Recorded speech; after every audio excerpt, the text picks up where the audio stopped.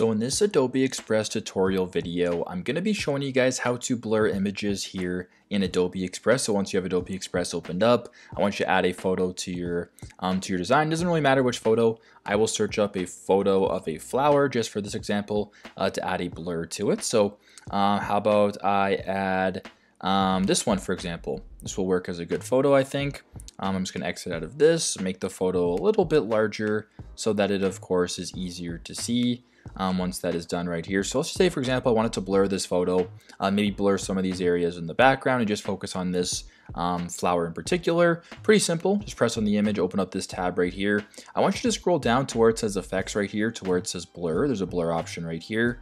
Uh, press on the blur option. Now, uh, if you want to make the photo more blurry, um, you know, you can slide it all the way to the left if you want to make, or sorry, uh, if you want to make it uh, more blurry, slide this all the way to the right where you can basically make it as blurred or as least blurred um, as you want. Uh, there you go. So let's just say, for example, I want to keep it that blurry right there. Uh, I'll just press exit and there you go. Uh, that is basically how you guys can blur an image here in Adobe Express. I hope this video helps.